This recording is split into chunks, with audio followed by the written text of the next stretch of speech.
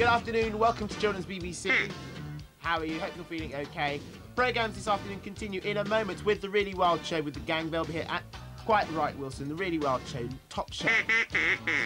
What do you mean that's not Wilson? He hasn't got gloves on. Well, that's because the gloves are in the wash.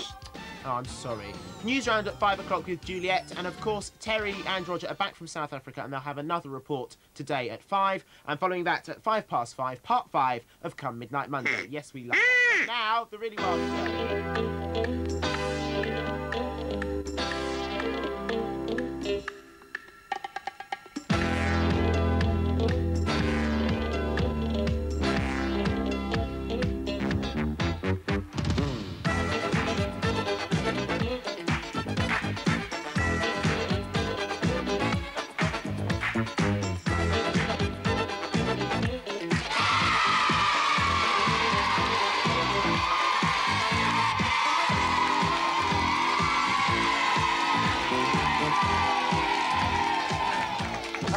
that time again. It's...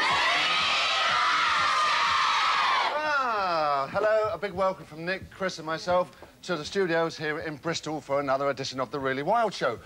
For half an hour of absolute bedlam with this noisy lot and loads and loads of animals. That's right, this week we've got everything from crickets to bats. But we'll start with the contents of this rather large enclosure here that we just struggled past because these are the real stars. They're otter cubs and they're just four months old. Now, you'd be very, very lucky to see these in the wild because there aren't very many left in Britain. There's a few on the Somerset levels, a few in East Anglia, some in Wales, but their stronghold is still the northern wilds of Scotland. Nick, they're absolutely magnificent, They are aren't they? fabulous, aren't they? They really are tremendous. Now, otters are equally at home on land or in water. And in fact, on land, they can run nearly as fast as man. That tail over there, that very long, tapered tail, it's very, very powerful. And that's what actually...